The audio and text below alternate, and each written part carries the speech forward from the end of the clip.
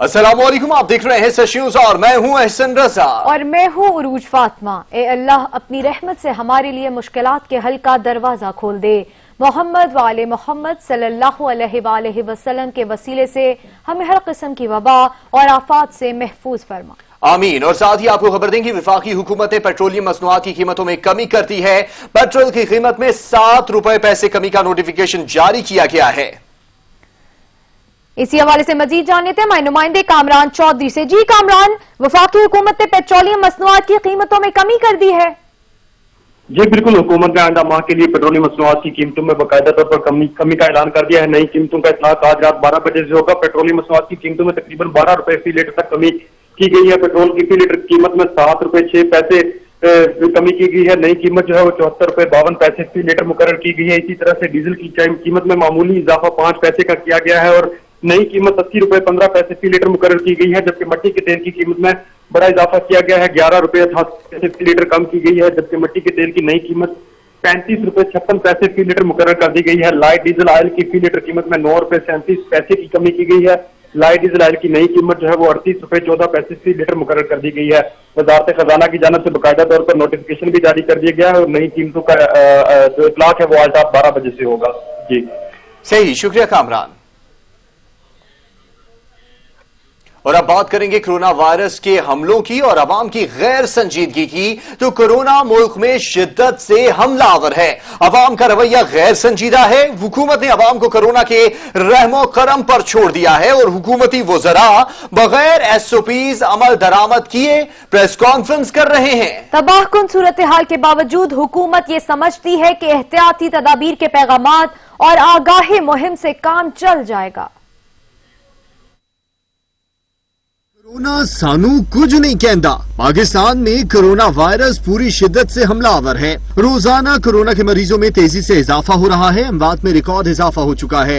लेकिन अवाम ने corona virus के बारे में इंतहाई गैर संजीदा रवैया अपना रखा है। मोजी वायरस के खिलाफ जिस एहतियात की ज़रूरत है, वो कहीं नज़र नहीं आ रही। कोरोना सूरत हाल में अवाम का रवैया ज़ाहिर करता है, समाजी फासले और मास्क पहनना फजूल काम है। कोरोना लॉकडाउन आरोप अवाम के रद्दमल ने ये साबित कर दिया है की अवाम को बयान ऐसी कायल नहीं किया जा सकता लोगों को घरों तक महदूद रखने के लिए हुकूमत को ही सख्ती करना होगी। लेकिन विफाकी और सूबाई हुकूमती वजरा बगैर मास्क लगाए समाजी फासले को नजरअंदाज करके टीवी पर आवाम को कोरोना वायरस से बचाव के लिए एहतियाती तदाबीर पर भाषण देने बैठ जाते हैं। हकीकत ये है कि दुनिया में तबाही मचाने वाले वायरस को पाकिस्तान में हुकूमती सतह पर भी सीरियस नहीं लिया जा रहा। दूसरी तरफ़ कोरोना टेस्ट के लिए मखसूस सरकारी और निजी लेबोरेटरियों का रवैया आवाम को कोरोना का आसान शिकार बना रहा है। टेस्ट करवाने की भारी फ़ीस अदा करने के बाद भी कई दिनों तक टेस्ट रिज़ल्ट के लिए चक्कर लगवाए जाते हैं।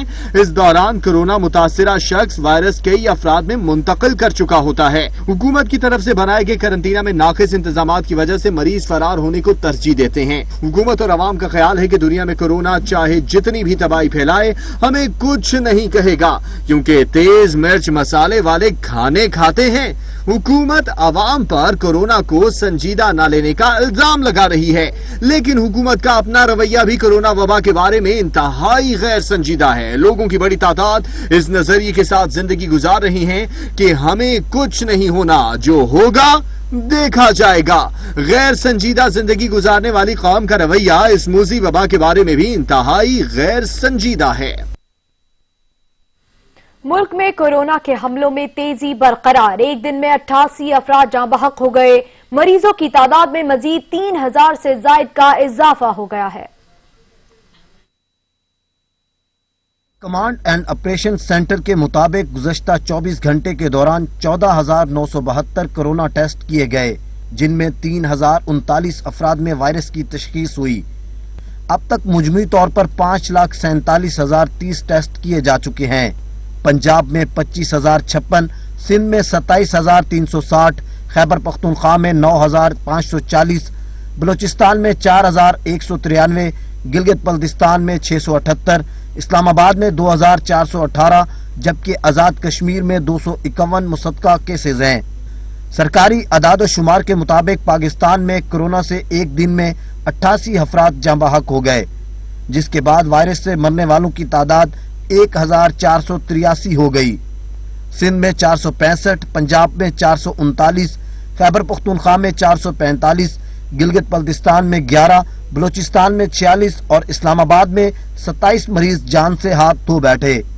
मुल्क भर में 723 मरीजों की हालत तशवीशनाक है जबकि अब तक 25,271 मरीज़ सेहतयाब भी हो चुके हैं।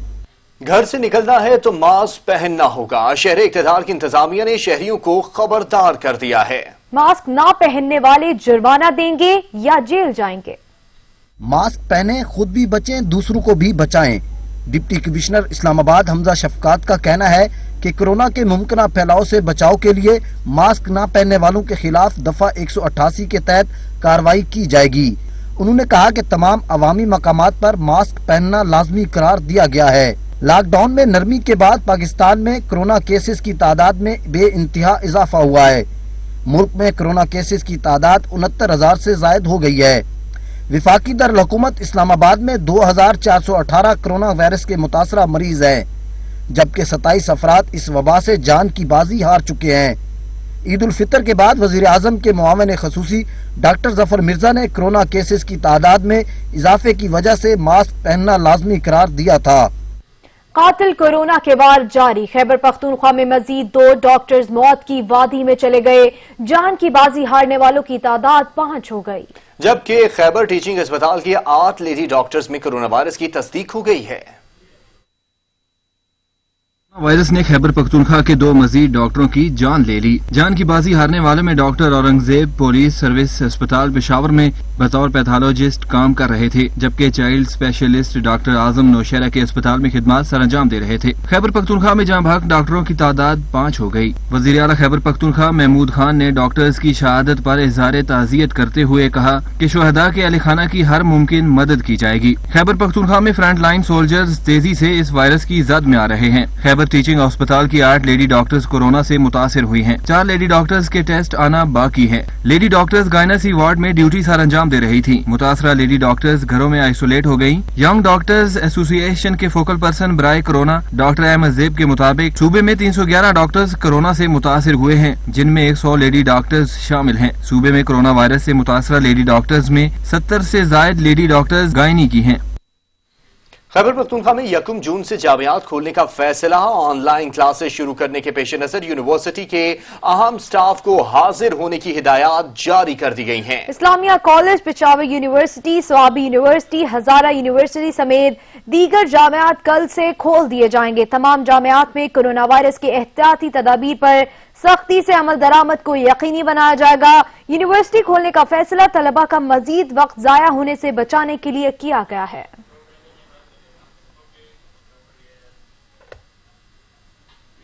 पंजाब में लॉकडाउन के बाद पहली बार एमबीबीएस और बीडीएस के जिमनी इम्तिहान कल से शुरू होंगे। इम्तिहान के लिए एसओपीज भी जारी की गई हैं। मुल्क भर में कोरोना वबा फैलने के पेश नज़र मार्च से तालीमी सरगर्मियाँ मुअत्तल कर दी गई थी और लॉकडाउन नाफिज कर दिया गया था। तहम अब सुबह पंजाब में लॉकडाउन के बाद पहली बार मेडिकल के जिमनी इम्तिहान लेने का ऐलान कर दिया गया है। Vice chancellor university of health sciences professor Javed Akram के मुताबिक पंजाब में एमबीबीएस और बीडीएस के जिमनी इम्तहान की तैयारियाँ मुकम्मल कर ली गई जो यकम जून से 20 जून तक जारी रहेंगे। प्रोफेसर जावेद अकरम ने बताया कि जिमनी इम्तहान के लिए 16 मरकज कायम किए गए, जहाँ ड्यूटी देने वाले इक्यासी निगरानों के कोरोना टेस्ट किए गए हैं। उन्होंने कहा कि इम्तिहानी मराकज में कोरोना से बचाव की तदाबीर का मुकम्मल ख्याल रखा गया है। प्रोफेसर जावेद अकरम का कहना था कि जिमनी इम्तहान में कुल एक हज़ार अड़तालीस उम्मीदवार शरीक हो रहे हैं। उन्होंने बताया कि इम्तिहानी मराकज को डिस करने का सिलसिला जारी है। दाखिली और खारजी रास्तों पर हैंड सैनिटाइजर रखे जाएँगे। और उम्मीदवारों के दरमियान कम अज कम दो मीटर फासले को यकीनी बनाया जाएगा। प्रोफेसर जावेद अकरम का कहना था कि मास्क के बगैर उम्मीदवारों को इम्तिहान में बैठने की इजाज़त नहीं होगी। और जिमनी इम्तहान के लिए जारी एस ओ पीज पर सख्ती से अमल दरामद कराने का हुक्म दिया गया है। और विफाकुल मदारस ने दो जून से दाखिलों और बारह जून से क्लासों के आगाज़ का ऐलान कर दिया है। मौलाना काजी अब्दुल रशीद का कहना है कि मदारस दीनिया को मजीद बंद रखने के मुतहमल नहीं हो सकते। वफाकुल मदारिस अल अरेबिया का मौलाना काजी अब्दुल रशीद की जेर सदारत जाम अशरफिया में मुशावरती इजलास हुआ, जिसमें दो जून से मदारिस में दाखिले और बारह जून से तालीमी क्लासेस के आगाज़ का ऐलान किया गया है। इजलास में निजी स्कूल के साथ मिलकर हुकूमत पर दबाव बढ़ाने, जबकि तबलीगी मराकज खुलवाने और तबलीगी जमात की सरगर्मियाँ शुरू कराने में मुआवनत की यकीन दहानी समेत मुशावरत का फैसला भी किया गया है। मौलाना काजी अब्दुल रशीद ने प्रेस कॉन्फ्रेंस करते हुए कहा कि हतमी फैसला वफाकुल मदारिस अल अरेबिया और इतिहाद तंजीमात मदारिस की क्यादत करेगा। मदारिस दीनिया को मजीद बंद रखने के मुतहमल नहीं हो सकते। जो कराम का सदर पाकिस्तान के साथ मुआदा हुआ और 20 नुकात तय हुए, उन एस ओ पीज़ पर पूरे मुल्क की मसाजिद में कराम की तरगीब तरगीब पर और उनकी फ़िक्र और कोशिश पर भरपूर अंदाज में अमल दरामद किया गया। बल्कि अगर ये मैं कहूँ तो गलत और बेजानी होगा कि अगर इन एस ओ पीज पर अमल किया गया तो सिर्फ़ और सिर्फ़ मसाजिद में किया गया। बाहर इन एस ओ पीज की धजियाँ उड़ाई गई। बाजारों में, मार्केटों में, माल प्लाजों में, नादरा के दफातर में, बैंकों में, सब्ज़ी मंडियों में इन एस ओ पीज की धजियाँ उड़ाई गई। अगर इन पर अमल दरामद हुआ तो सिर्फ़ और सिर्फ़ मसाजिद के अंदर हुआ। मौलाना काजी अब्दुल रशीद का मजीद कहना था कि सदर मुमलिकत के साथ तैयार करदा बीस नुकाती एस ओ पीज पर किसी शोबे ने भी अमल नहीं किया। सिर्फ़ मसाजिद में अमल किया गया। शॉपिंग मॉल ट्रांसपोर्ट बाज़ार सब्ज़ी मंडियाँ नादरा के दफातर खुल सकते हैं तो मदारस क्यों नहीं खोले जा सकते? पाकिस्तान की तारीख की पहली अमेरिका की बराह रास्त परवाज। मुल्क की तारीख में पहली दफ़ा कोई तैयारा पाकिस्तान से बराह रास्त अमरीका के शहर न्यू जर्सी पहुंचेगा। आपको बता रहे हैं कि मुल्क की तारीख में पहली मरतबा कोई तैयारा पाकिस्तान से बराह रास्त अमरीका के सफ़र को रवाना हुआ है। पी के एट सेवन वन वन दो सौ से ज़्यादा मुसाफरों को लेकर रवाना हो गया। पी आई ए ने कुछ अरसा कबल अमरीका से बराह रास्त परवाजों की इजाज़त मांगी थी। पाकिस्तान की तारीख का यह पहला वाकया है कि पाकिस्तान की तारीख में पहली मरतबा अमरीका की बराह रास्त परवाज मुमकिन हुई है। यहाँ पर वक्त हुआ है एक ब्रेक का। हमारे साथ रहिएगा। आपको बताएँ कि सिंध में एक मरतबा फिर पड़ा ज़ोर का जोड़ फिरदोश अमीम नकवी और सईद गनी की तनकीद से भरपूर प्रेस कॉन्फ्रेंस तहरीक इंसाफ के रहनुमाओं के इल्ज़ाम पर पीपल्स पार्टी रहनुमाओं का करारा जवाब। फिरदौस शमीम नकवी बोले, सिंध में मौजूद 38 शुगर मिलों में से 18 आसफ जरदारी और ओमनी ग्रुप की हैं। सईद गनी का कहना है कि चीनी की कीमतों में इजाफा करके आवाम के अरबों रुपए पर डाका मारा गया है। इंसाफ का मैंने ज़िक्र किया, लार शुगर मिल वाले का, उनके 100 एकड़ ज़मीन भी थी। उनके खिलाफ भी प्रेशराइज किया गया, पुलिस के ज़रिए जमीनों पर कब्जा कराया गया। जितनी शुगर मिल बिकती है, चाहे वो कोर्ट के ज़रिए बिके चाहे वो प्राइवेटली बिके, खरीदार एक है। क्या आपको ये बात समझ में आती है? इस कमीशन की तहकीकात की जद में वज़ीर आज़म आ रहे हैं, असद उमर आ रहे हैं, रजाक दाऊद आ रहा है हफीज शेख आ रहा है, बुजदार आ रहा है। ये पाँच के पाँच लोग पीटीआई की हुकूमतों में बैठे हुए गुजरा हैं, अहम लोग हैं। अब चूँकि इनको बचाना मकसद है तो उन्होंने पीपुल्स पार्टी के दौर को भी खोला, सिंध हुकूमत को भी खोला पीएमएलएन की हुकूमत के दौर को भी खोला और सारे जो है वो जोड़कर, कभी शहबाज शरीफ, कभी मुराद अली शाह, कभी कोई और, कभी कोई और उनको इसमें घसीट के लेके आ गए। सिंध में 2016-17 में 1200 सिख यूनिट थे। उनकी इमदाद का फैसला किया गया। चार फैक्ट्रियों को, जो कि ओमनी ग्रुप की हैं उनको एक सौ छिहत्तर करोड़ रुपया मिला। जो कमीशन बनाया गया था 20 फरवरी 2020 उस कमीशन ने अपनी एक रिपोर्ट पेश की। होना तो ये चाहिए था कि उस रिपोर्ट की बुनियाद पर कार्रवाई शुरू हो जाती। लेकिन चूँकि उसमें इनके अपने जो, जिनको मैं बैन अवी जुगादरी कहता हूँ, जो पीटीआई के अंदर बैठे हुए हैं, जो बहुत बड़े फनकार हैं, जो पीटीआई की एटीएम हैं, वो लोग सारे इसके अंदर मुलविस थे। तो उन्होंने उसको बचाने के लिए फॉरेंसिक के नाम पर टोटल चिन सिंध में कितनी शुगर मिले? अड़तीस। चल रही कितनी है? चौतीस। चौतीस में से जरदारी और ओमनी ग्रुप की अठारह जो चीनी की कीमतों में इजाफे की वजह बताई गई है इस रिपोर्ट में कि जो चीनी की कीमतें पाकिस्तान में बढ़ी हैं जिसके नतीजे में पाकिस्तानी कौम के 300 अरब से जायद उनकी जेबों से निकल के इनके कबाऊ पूतों की जेबों में गया है उसकी वजह सिर्फ़ और सिर्फ़ चीनी को एक्सपोर्ट करने का फैसला है। सुप्रीम कोर्ट ने जीआईटी बना दी। और जीआईटी ने भी अभी तक कोई सेटिस्फैक्ट्री रिप्लाई सिंध गवर्नमेंट से नहीं आया। जो एक जेआईटी बनाई गई थी आसिफ अली जरदारी साहब और पीपल्स पार्टी के दीगर रहनुमाओं के खिलाफ साकिब निसार साहब के ख्वाहिश पर उसमें ये तमाम चीज़ें उन्होंने इन्वेस्टिगेट की हैं। एक चीज़ उन्होंने नहीं छोड़ी। तर्जुमान नून लीग मरियम औरंगज़ेब का कहना है कि आवाम जान चुकी है कि चीनी चोर माफिया मुल्क पर मुसलत है। कराए के तर्जुमान हर रोज सर्कस करते हैं और झूठे कागज़ लहराते हैं। मुतमी नून की तर्जमान मरियम औरंगज़ेब का कहना है कि हर रोज दोनों हाथों से अवाम की चीनी चोरी हो रही है।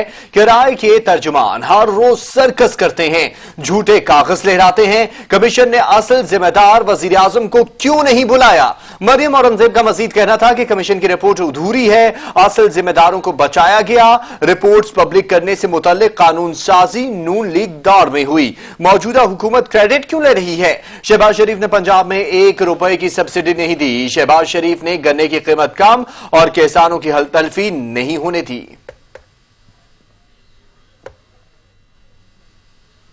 मुल्क भर में जखीरा अंदोजों के खिलाफ कार्रवाइयाँ जारी हैं। इंतजामिया ने कार्रवाई करते हुए गंदम की हज़ारों बोरियाँ कब्जे में ले ली हैं।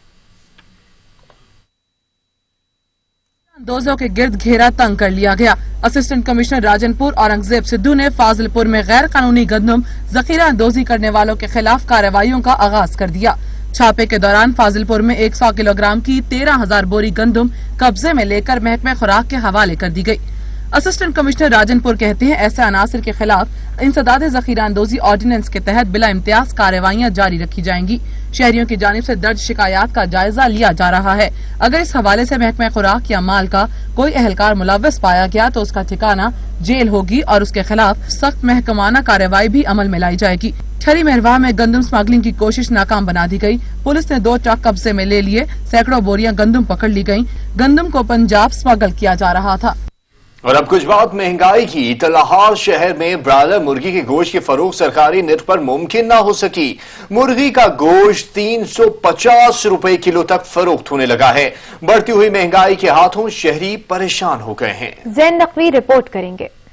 शहर में मुर्गी की कीमत की परवाज थम न सकी और आज भी मुर्गी का गोश्त साढ़े तीन सौ रूपए फ़ी किलो में ही फरोख्त हो रहा है जबकि सरकारी निर्खनामे के मुताबिक मुर्गी के गोश्त की कीमत दो सौ साठ रूपए फ़ी किलो मुकर की गई है। लाहौर शहर में मुर्गी का गोश्त सरकारी निर्खनामे के मुताबिक आज भी फरोख्त न हो सका कीमत में कमी की बजाय मार्केट में महँगा फरोख्त जारी है। गवर्नमेंट ने दो सौ साठ रूपए रेट लगाया हुआ है कोई तीन सौ बेच रहा है कोई तीन सौ बीस कोई साढ़े तीन सौ बेच रहा है। पीछे से सस्ता ला के यहाँ पे और रेट बढ़ा देते हैं एक तो पीछे मुनाफा खोर बैठे हुए हैं। ऊपर से यहाँ पे आके मुनाफाखोरी शुरू कर देते हैं शहर में मुर्गी का गोश्त 260 से साढ़े तीन सौ रूपए फी किलो तक फरोख्त हो रहा है छोटा और वजन में हल्का ब्रायलर 260 रूपए फी किलो में ही फरोख्त किया जा रहा है पार्ट्स में मुर्गी का गोश्त साढ़े तीन सौ रूपए फी किलो हो गया बोनलेस गोश्त साढ़े चार सौ रूपए फी किलो में फरोख्त हो रहा है दुकानदार कहते हैं की हुकूमत को चाहिए की फार्मर्स के खिलाफ कार्रवाई की जाए ताकि हम भी सस्ता गोश्त खरीद सके गवर्नमेंट ਨੂੰ ਚਾਹੀਦਾ ਨਾ ਕਿ ਫਾਰਮਰ ਜਿਹੜੇ ਬ੍ਰੋਕਰ ਨੇ ਵੱਡੇ ਵੱਡੇ ਇਹ ਉਹਨਾਂ ਨੂੰ ਜਾ ਕੇ ਫੜਨ ਉਹ ਆ ਜਾਂਦੇ ਨੇ ਨਿੱਕੇ ਦੇ ਆ ਕੇ ਨਿੱਕੀ ਦੁਕਾਨਾਂ ਵਾਲਿਆਂ ਨੂੰ ਫੜ ਲੈਂਦੇ ਨੇ इंज कोई काबू नहीं पाया जाता महंगाई पे मुर्गी के गोश्त की बढ़ती हुई कीमतों से आवाम भी परेशान हो गए कहते हैं बीफ और मटन तो पहले ही उनकी दस्तरस से दूर थे अब तो मुर्गी खरीदना भी मुश्किल हो गया है कैमरामैन जिशान जाहिद के अमराज है नकवी सच न्यूज लाहौर नीम हकीम खतरा जान जाहिल उस्ताद खतरा तालीम जाहिल उस्ताद बच्चों के जहन खराब करने लगे। मासूम बच्चों को साइंस की गलत तालीम देते उस्ताद की वीडियो वायरल हो गई। उस्ताद का दावा है कि ज़मीन सूरज के गिर्द नहीं, बल्कि सूरज ज़मीन के गिर्द घूमता है। आपको बता रहे हैं, जिस तरह से नीम हकीम खतरे जान होते हैं, वैसे ही जाहिल उस्ताद खतरे तालीम हैं, बच्चों के जहन को खराब करने लगे। ये गलत है बेटा। साइंस क्या साइंस की ये थ्योरी जो है ना ये दुरुस्त नहीं है। असल जो थ्योरी है ना वो कुरान और हदीस वाली है। और आला हज़रत जो हमारे ना इमाम अहल सुनत आला हज़रत ने ये प्रूफ किया है कि ज़मीन साकिन है। यानी ज़मीन मूव नहीं करती। साकिन को एक अच्छा सा वर्ड इंग्लिश का होता होगा साकिन का। स्टैटिक अर्थ स्टेटिक पोजीशन में है। तो ये मूव नहीं करती। और साइंस कहती है कि ज़मीन मूव करती है। आला हज़रत हमारे इमाम अहले सुन्नत ने कुरान से साबित किया है कि ज़मीन मूव नहीं करती। नहीं करती। तो हमने बात कौन सी माननी है? इस्लाम की। और चाँद के बाद पीटीवी फवाद चौधरी के निशाने पर आ गया। ट्विटर पर पैगाम में कहा, गैर मुल्की मवाद कौमी टीवी के लिए जहर कातिल है। अपने प्रोडक्शन को तरक्की देने के लिए कोशिश करनी चाहिए। वालों में पहली बार एक हुकूमती वज़ीर भी शामिल हो गए। विफाकी वज़ीर science and technology Fawad Chaudhry ने कहा कि गैर मुल्की ड्रामे पाकिस्तानी प्रोडक्शन को तबाह कर देंगे। समाजी राबते की वेबसाइट पर किए गए ट्वीट में उन्होंने कहा कि हैरान हूँ कि पीटीवी होम दूसरे ममालिक के प्रोडक्शन पर फखर कर रहा है। आपको चाहिए कि पाकिस्तानी प्रोडक्शन पर तवज्जो दें, वरना गैर मुल्की ड्रामे पाकिस्तानी प्रोडक्शंस को तबाह कर देंगे। बैरून ममालिक से ड्रामे खरीदना हमेशा एक सस्ता सौदा रहा है। ताहम उससे हमारी प्रोडक्शन पर दोरस असरात मुरतब होते हैं। फवाद चौधरी के जवाब में बिलाल मुस्तफ़ा नामी एक सारिफ ने उन्हें जवाब दिया, मेरे भाई, जब इंडियन फिल्म्स की अलगार मुल्क पे होती थी, तब ये सोच कहाँ थी? राहत नवाज़ ने फवाद को मशवरा दिया कि दूसरी वजारतों में टांग न अड़ाएँ। वज़ीर आज़म इमरान खान के हुक्म पर ये ड्रामा दिखाया जा रहा है। जमशेद ने तबसरा किया कि वज़ीर आज़म बोल रहे हैं, तुर्की ड्रामा देखना चाहिए। वजरा फरमा रहे हैं, अपने ड्रामे देखो। जबकि अवाम उनका ड्रामा देख रही है, जो कि ये कौम के साथ कर रहे हैं। वज़ीर साइंस एंड टेक्नोलॉजी की कौमी टीवी पर तनकीद। सीनियर फनकारों ने भी फवाद चौधरी की हा में हाँ मिला दी। बोले, गैर मुल्की मवाद चलाने से मकामी इंडस्ट्री को नुकसान होगा। पहली बात तो ये है कि बड़ी अच्छी बात है, अगर देर आए, दुरुस्त है इन्होंने आज जो ट्वीट किया है तो वो फनकारों के हवाले से भी और अपनी ज़ाती प्रोडक्शन के हवाले से भी देखें। अगर आप अगर पाकिस्तानी प्रोडक्शन करते हैं, अपने फनकार को लेते हैं तो उसमें यह है कि फनकार आपका बिज़ी होता है।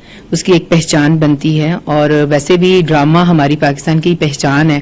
आपको याद होगा कि हमारे जो ड्रामे चलते थे, उस वक्त हमारी शॉप्स बंद हो जाती थी, कारोबार बंद हो जाते थे। ये वही टेलीविज़न है, वही फनकार हैं। आज क्यों इनको नजरअंदाज करके तो आप दूसरे लोगों के ड्रामे जो चला रहे हैं। ये तारीखी ड्रामा दिखा के ठीक है मोटिवेशनल एक बात है, लेकिन क्या हमारा नेशनल जो टेलीविज़न है, क्या उसके पास खुद अपनी कहानियाँ करने के लिए अब कोई ऐसा बंदा नहीं रहा या कोई ऐसे वसायल नहीं रहे। मैं फवाद चौधरी साहब की बात को बिल्कुल सेकंड करता हूँ। बड़ी सही बात कही है उन्होंने। टेलीविज़न पे पिछले कितने बरस हो गया कोई कुछ नहीं हो रहा। मेरे मुल्क के वो फनकार बड़ी खुशाइन बात है, जैसा कि अभी बताया है कि मकामी प्रोडक्शंस होनी चाहिए और लोकल फनकारों को अपॉर्चुनिटीज़ मिलनी चाहिए। इससे अच्छी बात और क्या है कि सबसे पहला हक जो है वो क्या कहते हैं? अव्वल, खवेश, बाद, दरवेश। पहला हक तो अपनों का ही होता है। और अगर हुकूमत इस बारे में सोच रही है कि जितने भी मुकामी फनकार हैं या प्रोडक्शन हाउसेज हैं, उनको मौाक़े दिए जाएँ तो ये बहुत अच्छी बात है। मैं यहाँ फवाद चौधरी साहब के बयान की तायद करूँगा कि हमारे यहाँ गैर मुल्की ड्रामे नहीं चलना चाहिए। खासतौर पर पाकिस्तान टेलीविज़न पर पीटीवी पे एक दौर था कि बड़ी बड़ी तारीखी प्रोडक्शंस होती थी, आखिरी चटान टाइप के तारीखी ड्रामे होते थे जिससे हमारे यहाँ के फनकारों टेक्नीशियंस की सलाहियतें दुनिया भर में वाजह होती थी। और हमारे उस वक्त के ड्रामे आज भी गैर मुल्की इदारों में वहाँ की यूनिवर्सिटीज़ में दिखाए और पढ़ाए जाते हैं। कराची की नामवर इलमी शख्सियत प्रोफेसर अनबार अहमद जय इंतकाल कर गए हैं। मरहूम गुजशत एक माह से अलील थे। इस पर रिपोर्ट करेंगे शहजादा मोइन। प्रोफेसर अनवार अहमद जई मैट्रिक और इंटर बोर्ड कराची के चेयरमैन रह चुके हैं। मीरपुर खास बोर्ड को भी ये एजाज हासिल रहा कि प्रोफेसर अहमद जई जैसे इल्मी शख्सियत इससे वाबस्ता रही। प्रोफेसर अनवार अहमद जई गुजशत कुछ अरसे से जियाउद्दीन तालीमी बोर्ड के डायरेक्टर की हैसियत से फराइज अंजाम दे रहे थे। मरहूम माहिर तालीम होने की हैसियत से इल्मदोज शख्सियत और आजिजी का पैकर थे। टेलीविज़न के प्रोग्राम सेमिनार्स और सीरत कॉन्फ्रेंस के बेहतरीन मुकर थे। उन्हें इस्लामी तारीख, सीरत रसूल सल्लल्लाहु अलैहि वसल्लम और आयमा के हालात ज़िंदगी को दिलनशीन अंदाज में पेश करने का मलिका हासिल था। सच टीवी के मुख्तलिफ़ प्रोग्राम्स में अछूते मौजूद ऐसे इल्मी अंदाज से गुफ्तगु करते कि बात नाजरीन और हाजरीन के दिलों में उतर जाती। आने वाले का साथ दोगे। अब जरा देखो हालाँकि वो तो सब कुछ हल करने के लिए आ रहे हैं। साथ कैसे देंगे आप? साथ ऐसे देंगे साथ के दो तरीके वाज तौर पर हैं। एक गैबत कुबरा में वो साथ कैसे देंगे? गैबत है। और दूसरा उनकी तशरीफ़ आवरी के बाद प्रोफेसर अनवार अहमद जई 18 सितंबर 1944 को भारत के शहर जयपुर में पैदा हुए। तकसीम हिंद के बाद उनका खानदान पाकिस्तान मुंतकिल हुआ। प्रोफेसर अनवार अहमद जई अंग्रेज़ी उर्दू और सोशियोलॉजी में एमए करने के साथ अमेरिका और जर्मनी के आला तालीमी इदारों से भी फारिग तहसील थे। वो एशियन डेवलपमेंट और वर्ल्ड बैंक के तालीमी प्रोजेक्ट्स की भी निगरानी करते रहे थे। उन्होंने रेडियो पाकिस्तान के लिए ड्रामे और प्रोग्राम्स का स्क्रिप्ट भी तहरीर किया। वो सहमाही उर्दू मैगजीन इबरत के पैटर्न इन चीफ थे। प्रोफेसर अनवार अहमद जई अपनी जात में एक अंजुमन थे। उनका इंतकाल एक शख्स का मरना नहीं, बल्कि कई इल्मी मजामी का जुदा हो जाना है। मजीद खबरें शामिल करेंगे एक ब्रेक के बाद। हमारे साथ रहेगा कंपनी के फ्रांसीसी माहरीन ने पीआईए तैयारा हादसे के शवाहिद इकट्ठे कर लिए हैं। ब्लैक बॉक्स और केबिन डाटा रिकॉर्डर की डी कोडिंग दो जून से शुरू की जाएगी। टीम के आज शाम फ्रांस रवाना होने का इम्कान है। फ्रांस की एयरबस कंपनी की ग्यारह रुकनी तहकीकाती टीम ने पीआईए तैयारा हादसे की तहकीकत मुकम्मल कर ली हैं। ताहम रिपोर्ट फ्रांस में तैयार की जाएगी। जहाज़ के फ़्लाइट डेटा रिकॉर्डर और केवन वॉइस रिकॉर्डर की डिकोडिंग का अमल 2 जून से शुरू होगा, जबकि एफडीआर और सीवीआर की डिकोडिंग फ्रांस के शहरले बोगट की एविएशन लैब में की जाएगी। एफडीआर और सीवीआर की पहली मुरम्मत की जाएगी और फिर डी कोड किया जाएगा। जबकि सीवीआर और एफडीआर की डी कोडिंग के लिए पाकिस्तानी तहकीकती टीम के कुछ मेम्बरान भी फ्रांस जाएँगे। तेज रफ्तारी का खौफनाक अंजाम। ड्राइवर्स की गफलत और जल्दी कीमती जाने निकल गई। खानेवाल में होलनाक ट्रैफ़िक हादसा, सात जाने ले गया। शेखुपुरा में मुसाफिर वैन उलटने से पाँच अफराद जान से चले गए। देपालपुर में बस उलटने से सत्ताईस अफराद जख्मी हो गए। नेपाल में पुल रांगू पर बस उलटने का वाकया। रेस्क्यू ने इमदादी ऑपरेशन मुकम्मल कर लिया। हादसे में कई जानें चली गईं, जबकि 30 से ज़्यादा जख्मी हो गए। डीएचक्यू, टीएचक्यू अस्पताल कबीरवाला में इमरजेंसी नाफिज कर दी गई। तशवीशनाक हालत के हामिल मरीजों को निश्तर अस्पताल मुंतकिल कर दिया गया। मुसाफिर बस मोटरसाइकिल सवार को बचाते उलट गई। वज़ीर अला पंजाब उस्मान बुजदार ने बस हादसे में कीमती इंसानी जानों के जिया पर दुख और अफसोस का इजहार किया और कमिश्नर मुल्तान से हादसे की रिपोर्ट तलब कर ली। शेखोपुरा में सियालकोट मोटरवे पर मुसाफिर वैन उलट गई। पाँच अफराद जाम बहक, जबकि दस शदीद जख्मी हो गए। जाम बहक होने वालों में तीन खातन और दो बच्चे शामिल हैं। दीपालपुर में अमीनाबाद के करीब तेज रफ्तार मुसाफिर बस उलट गई। हादसे में खातन बच्चों समेत सत्ताईस अफराद जख्मी हो गए। वाक़े की इतला मिलते ही पुलिस रेस्क्यू ने जख्मियों को तहसील हेडक्वार्टर अस्पताल मुंतकिल कर दिया। हादसा टायर फट जाने के बायस पेश आया। बस आरिफ वाला ऐसी लाहौर जा रही थी। ठुल हमजा में तेज रफ्तार वैन हादसे का शिकार हो गई, जिसके नतीजे में एक मुसाफिर जख्मी हो गया। इससे कबल शुजाबाद से फूचमेंड्रो जाने वाली वैन गहरी खाई में गिरने से दो अफराद जान से चले गए, जबकि अठारह जख्मी हो गए। और अब बात टिड्डी दल के हमलों की तो टिड्डी दल की यलगार से बावन इजला की तैयार फ़सलों में तबाही फैल गई है। मुल्क में गजाई बहरान सर उठाने का खतरा जन्म देने लगा है। बलूचिस्तान टिड्डी दल से सबसे ज़्यादा मुतासर हुआ है। तर्जुमान एनडीएमए का कहना है कि बलोचिस्तान के इकतीस खैबर पख्तूनख्वा में दस, पंजाब में पाँच, और सिंध के छह अजला टिड्डी दल से मुतासर हैं। टिड्डियों से मुतासर इलाकों का सर्वे और कंट्रोल ऑपरेशन जारी है। मुल्क में 1102 टीमें ऑपरेशन में हिस्सा ले रही हैं। 24 घंटे में तीन लाख तिरसठ हज़ार हेक्टेयर रकबे का सर्वे हुआ। उनचास सौ हेक्टेयर रकबे का टिड्डी मार अद्वियात ऐसी ट्रीटमेंट किया गया। बलोचिस्तान में बत्तीस सौ हेक्टेयर रकबे आरोप स्प्रे हो चुका है। तर्जुमान एनडीएमए के मुताबिक पंजाब में 200 हेक्टेयर पर स्प्रे किया गया। खैबर पख्तूनख्वा में 800 हेक्टेयर के रकबे की ट्रीटमेंट की गई। सिंध में गुजश्ता रोज 700 हेक्टेयर रकबा ट्रीट किया गया, जबकि मजीद इकदाम का सिलसिला जारी है। मुल्क में मजमू तौर पर चार लाख बानवे हज़ार हेक्टेयर रकबे पर स्प्रे का अमल मुकम्मल किया जा चुका है। बलोचिस्तान के मुख्तलिफ़ शहरों में टिड्डियों ने तैयार फलों पर हमला कर दिया, जिससे सिब्बी, लोरालाई, गजदार में मौजूद तैयार फ़सलें तबाह हो रही हैं। कोरोना के बायस गुजशत अढ़ाई माह से बंद मस्जिद अक्सा को नमाजियों के लिए खोल दिया गया है। नमाज़ की अदायगी के लिए आने वालों को एहतियाती तदाबीर पर अमल दरामद की हिदायत की गई है। मस्जिद अक्सा को ढाई माह के कोरोना लॉकडाउन के बाद नमाजियों के लिए और सयाहों के लिए खोल दिया गया। मुसलमानों के तीसरे बड़े मुकदस मकाम को रवा साल पहली बार माह रमज़ान में बंद रखा गया था और मुसलमान इस साल माह मुकदस में कबला अव्वल में इबादत से महरूम रहे थे। कबला अव्वल में ईद की नमाज़ भी नहीं हो सकी थी। मस्जिद के खुलने पर सैकड़ों लोग नमाज़ फजर के लिए मस्जिद पहुँचे। इस्लामिक वक्फ काउंसिल की जानब से कोरोना के फैलाव में कमी का जायजा लेने के बाद मस्जिद को खोलने का फैसला किया गया है। ताहम काउंसिल ने फैसला किया है कि मस्जिद आने वालों के लिए मास्क पहनना और दीगर हिफाजती तदाबीर इख्तियार करना लाजिम होगा ताकि ये वायरस मजीद न फैल सके।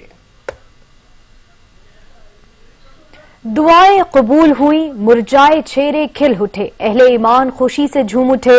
मस्जिद नबवी को नमाजियों के लिए खोल दिया गया है। दर नबी पर पड़ा रहूँगा। माह की इल्तजाएँ और मुनाजात रंग ले आईं। आलम इस्लाम को बड़ी खुशखबरी मिल गई। दर हबीब सल्लल्लाहु अलैहि वसल्लम की हाजिरी की इजाज़त दोबारा मिल गई।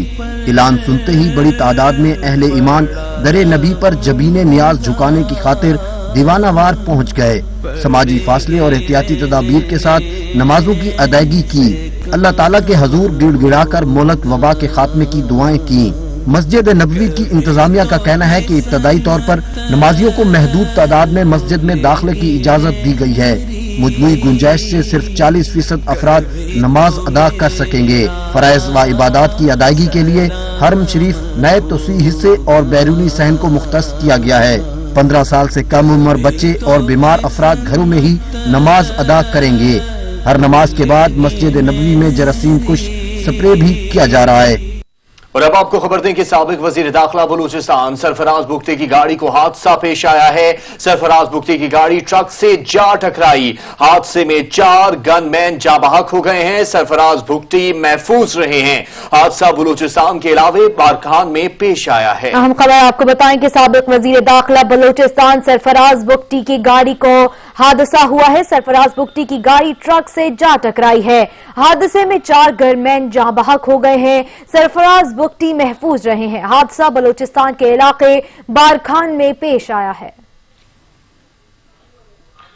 आपको बता रहे हैं कि सबक वज़ीर दाखिला बलूचिस्तान सरफराज बुगटी की गाड़ी को हादसा पेश आ गया। सरफराज बुगटी की गाड़ी ट्रक से जा टकराई है। योम इनहदाम जन्नतुलबकी पर शहर शहर रैलियाँ निकाली गई। मुकर्रीन ने जन्नतुलबकी में उम्हातुलमोमिनीन आयम अतहार और सहाब कराम की कबूर को फौरी तामीर करने का मुतालबा किया है। कराची से गिलगित बल्तिस्तान तक योम इनहदाम जन्नतुलबकी पर रैलियाँ निकालकर मजारत मुकदसा की तोहिन की शदीद मजम्मत की गई। रावलपिंडी में आगा सईद हामिद अली शाह मौसवी की काल पर मरी रोड पर इनहदाम जन्नतुलबकी के खिलाफ एहतजाजी रैली निकाली गई।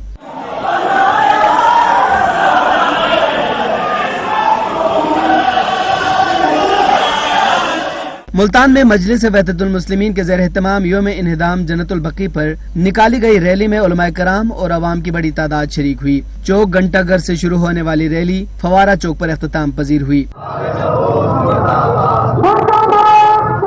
योम इनदाम जन्नतुल बकी कमेटी चकवाल के जेर तमाम इमाम बारगा गुलिस्तान जहरा में एहतजाज किया गया, जिसमें उलमाए कराम ने हुकूमत से मुतालबा किया कि वो आलमी सतह पर और मजारात को तामीर कराएँ। सरगोदा में तहरीक नफाज फ़िका जाफरिया की तरफ़ से रैली निकाली गई जिसमें शहरियों की कसीर तादाद ने शिरकत की। कुछ ही देर में हाजिर होंगे न्यूज़ हेडलाइंस के साथ। देखते रहिए सच न्यूज़।